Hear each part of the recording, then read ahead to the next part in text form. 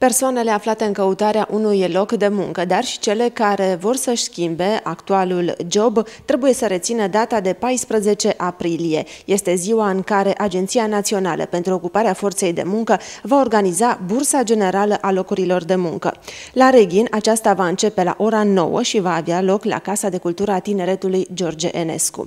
Trebuie să știți că în județul Mureș acest târg se va desfășura concomitent în municipiile Târgu Mureș, Reghin, Sighișoara, Timișoara și Târnăveni. Dacă este să ne referim la zona Reghin, până în acest moment, cu o săptămână înainte de organizarea acțiunii, sunt uh, puse la bătaie 22 de locuri de muncă.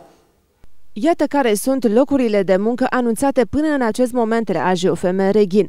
Mecanic auto, două posturi, tâmplar la croit și dimensionat, trei posturi, inginer în industrializarea lemnului, un post, operator CNC, un post, tâmplar PVC, un post, electrician, patru posturi, câte cinci posturi pentru încărcător-descărcător și manipulant mărfuri.